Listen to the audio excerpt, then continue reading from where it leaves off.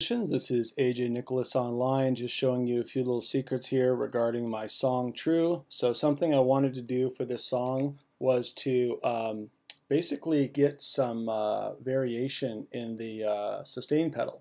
So what I did, I'm going to play it back for you here. Um,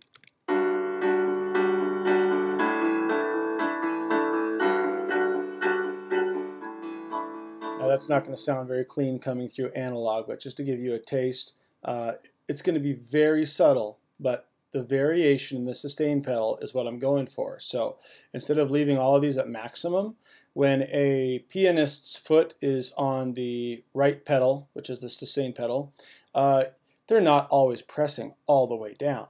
So they could be, but um, their mind is usually focused on reading the composition or playing from memory and feeling the piece as they play it.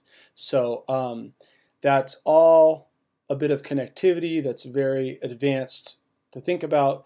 But um, what you see here is just these little variations. And this is going to make a, a, very subtle difference, but it's what gives the piece a sense of realism to where the average listener will not even be able to detect that this song was composed uh, digitally. So uh, that's really what I'm going for is um, you know, not so much to fool everyone's ears, but to make the song sound so pleasant that, and so, you know, with the subtle variations is what I keep mentioning, is, is, is doing that gives it that sense of realism. So that's the main point I want to make in the video here. Um, doing a few little adjustments here in the opening. I'm, I'm going for a soft opening, so with the volume gradually coming up. And um, uh, this is a basic thing called GarageBand. So um, believe it or not, I did my instrumental album called Instrum, which I'm now publishing to CD Baby right as I speak. Um, I did it all on GarageBand. So, I mean, a lot of people say, well, I think you should try Logic. I think, I mean, you know, I'm doubling down on what's working. I'm going to double down on what I'm familiar with. And when I'm ready to upgrade, I'll upgrade. but I really wanted to get good at mastering one tool.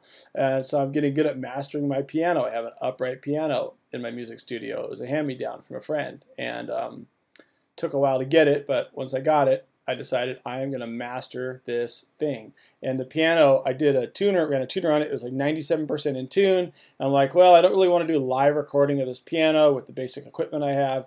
And so thank goodness for GarageBand. Hats off to um, the designers at Apple. Uh, this is actually a fantastic program. Um, there's no, I'm, I do not really have a, any paid endorsement right now, but I would just say start with GarageBand. It is a fantastic program and it sometimes just gets a rap as like a basic thing. But you can even see what I did here if we remove the sustain.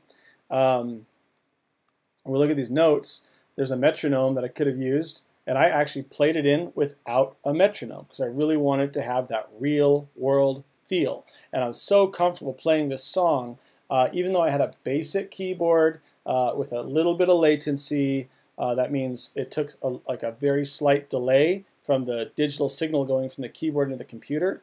Um, and it kind of threw me off as the notes were going in. But I just played it back, and then I went through, and I just made little adjustments here and there. And yes, I know that's time consuming compared to having more professional equipment, but as a beginner, that is something you should be willing to do. So if you are willing to uh, take that time and just piece it together you get these beautiful melodies. So check out True on Spotify or YouTube or wherever you can find it. I, am trying to get more followers on my SoundCloud, so I'll post those links below. And I got to wrap it up. I got a lot I'm doing today, so that's all for now. Uh, if you want to watch another one of my videos, just click on the screen to subscribe and get started. Um, I know you're going to be busy. I don't expect you to watch all my stuff. I know you want to create your own content. So I actually encourage you just to subscribe now, and then whatever's inspiring you, uh, go and do it. Make it a great day. God bless. Thanks for watching. Bye.